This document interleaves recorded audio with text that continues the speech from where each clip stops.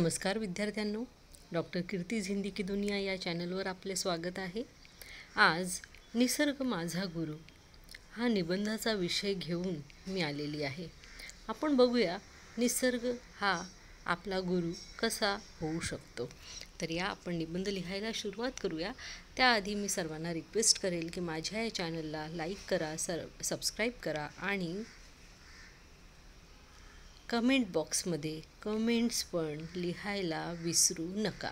मुलांनो तुम्हाला माहिती आहे की निसर्ग हा आमचा सर्वात मोठा गुरु असतो.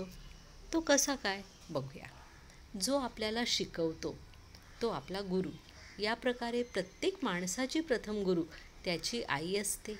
फुल स्टॉप लावा हां इथे. किंवा कॉमा त्यानंतर शाळेतले गुरुजी आपल्याला मार्गदर्शन करतात. पण माझ्या मते निसर्गसुद्धा आपला गुरुच आहे. कारण निसर्गापासून आपल्याला खूप काही शिकायला मिळते. इथे फुल स्टॉप लावा. मिळतेच्या नंतर. सूर्य चंद्र आपल्याला प्रत्येक कार्य न चुकता वेळेवर करायची करा करायची शिकवण देतात. है ना? हे याची हे कट करून टाकायचं आहे. ठीक आहे? वेळेवर कामं करणे हे कसं महत्त्वाचं आहे हे आपल्याला सूर्य आणि चंद्र पटवून देतात. मुलांनो जर का सूर सूर्य आणि चंद्र वेळेवर उगवले नाहीत तर काय होणार?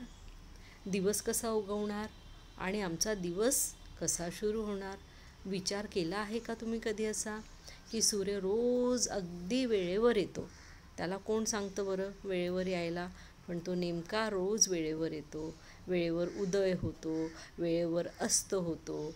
मग आपण पण सूर्य चंद्र यांच्याकडून वेळेवर प्रत्येक कार्य करणे हे शिकले पाहिजे. झाडे झुडपे माणसाला देण्याची प्रवृत्ती असावी हे शिकवतात. झाडे झुडपे कसे असतात मुलांनो? झाडांवर फळ लागतात.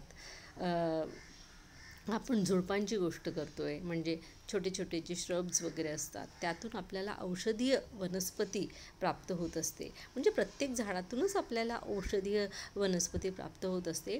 पण तरी आपण इथे लिहिलं आहे की झाडे झुडपे माणसाला देण्याची प्रवृत्ती असावी हे शिकवतात. कुठलीही झाड फळं लागल्यावर सर्वांना देण्यासाठी वाकून उभा राहतो. आपण बघितलं ना फळं लागले की तो ते झाड कसं वाकून उभं राहतं. म्हणजे फळ कधीही तुम्हाला असं ताट वरती लागलेलं दिसणार नाही.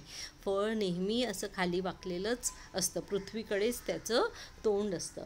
म्हणजे झाड जे आहे असं वाकून ते फळ स सर्वांना द्यायसाठी तयार उभा असतो. यातून आपल्याला जीवनात धनसंपत्ती वैभव शिक्षा हे प्राप्त झाल्यावर माणसाने विनम्रतेने वागावे अशी शिक्षा मिळते. तर मुलांना आता इथे धन इथे कॉमा संपत्तीनंतर कॉमा वैभवनंतर कॉमा असं कॉमा तुम्हाला लावून घ्यायचा आहे नदी आपल्याला सतत गतिमान राहणे व आपल्या वाटेत आलेल्याची तहान भागवणे शिकवते.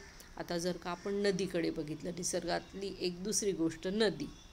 ती काय शिकवते आपल्याला? कंटिन्यू वाहत राहणे कंटिन्यू पुढे जाणे कंटिन्यू गतिमान राहणे है ना? असं शिकवते. आणि आपल्या वाटेत आपल्या रस्त्यात जी जी लोकं येतात त्यांची तहान भागवणं हे नदीचे काम आहे. तसेच माणसा माणसाचे काम काय? माणसाच्या रस्त्यात माणसाच्या वाटेत जितकी लोकं येतात त्यांना आपण मधुर शब्दाने त्यांच्यासोबत बोलावे गोड बोलावे. कोणाचे कोणाला दुखवू नये हे सगळं आपल्याला नदीपासून शिकायला मिळते. कोणाला नाही म्हणायचं नाही हे पण आपल्याला नदी शिकवते. निसर्ग प्रत्येक ऋतूसाठी आपल्यात बदल करून बदलाव सहर्ष स्वीकार करतो. आपण बघतो ना मुलांनो की निसर्ग म्हणजे आपण म्हणतो ना ऋतूचक्र हिवाळा येतो उन्हाळा येतो मग पावसाळा येतो असे ऋतूचक्र बदलत असतात. आणि हे निसर्ग जे आहे त्या ऋतूचक्रांचे बदलाव जे असतात ते सहज गती सहर्ष स्वीकार करत असतात. आणि म्हणून आपल्याला हा निसर्ग शिकवतो. काय शिकवतो ते?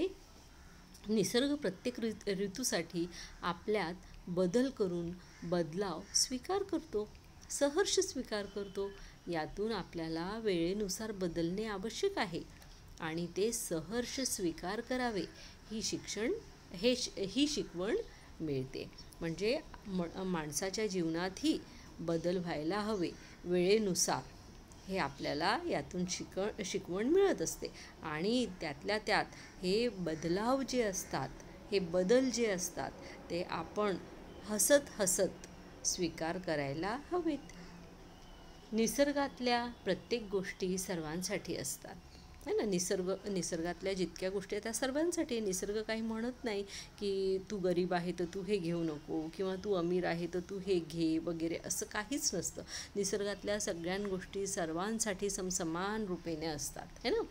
त्या निसर्ग त्यात भेदाभेद करत नाही. निसर्ग कुणामध्येच भेदाभा भेदभाव करत नाही. म्हणून आपणही आपसात कधीच भेदाभेद करू नये. म्हणून आपण कधीही भेदाभेद करू नाही करू नये. भेदभाव करू नये. निसर्गातील चक्र निसर्गापासून घेऊन निसर्गाला निसर्गालाच परत देणे शिकवतो. निसर्गातील जे चक्र असतात आपण झाडं झुडपं बघतो. झाडांची पानं गळून पडतात मातीत मिक्स होतात परत त्याची माती तयार होते. म्हणजे निसर्गापासूनच उत्पन्न होते निसर्गातच ते मिक्स होऊन जाते. तर निसर्ग आपल्याला काय शिकवत असतो? निसर्गातील हे जितके पण चक्र असतात ते आपल्याला काय शिकवत असतात? की निसर्गापासूनच घेणे आणि निसर्गालाच परत देणे.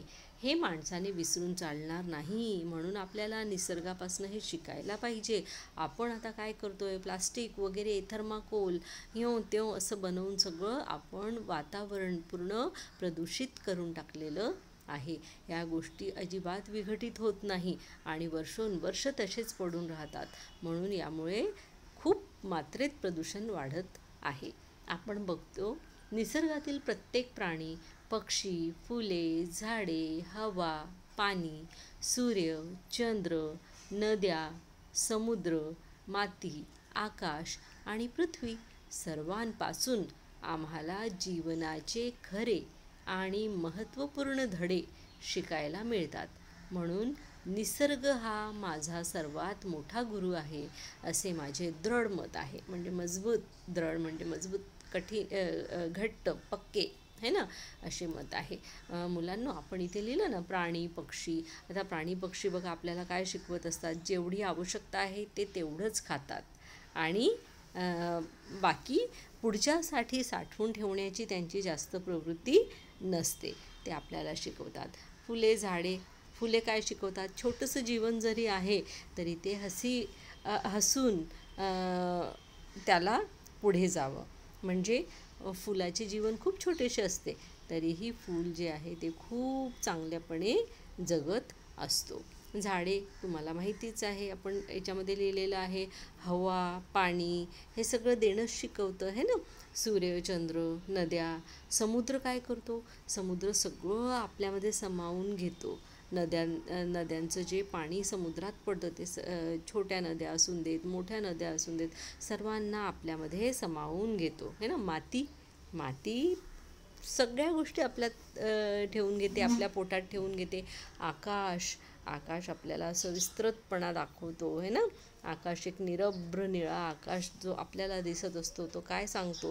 की आपल्यासाठी सगळं काही असं निरभ्र मोठ्या प्रमाणात आहे. पण त्याला फक्त खूप चांगल्यापणे आपण सांभाळून ठेवलं पाहिजे आणि त्याची त्याच्यापासनं काहीतरी शिकलं पाहिजे. आता मुलांनो तुम्हाला हा व्हिडिओ कसा वाटला मला कमेंट बॉक्समध्ये लिहून सांगणार ना? माझे माझ्या या व्हिडिओला लाईक करा सबस्क्राईब करा आणि मुलांना तुम्हाला माहिती आहे ना कि मिल बांटकर पढ़ने से ज्ञान बढ़ता है कभी भी कम नहीं होता बच्चों इसलिए मिल बांटकर पढ़िए वीडियो को शेयर ज़रूर से कीजिए। मिलती हूँ आपसे अगले किसी अच्छे से वीडियो में। तब तक के लिए धन्यवाद बच्चों।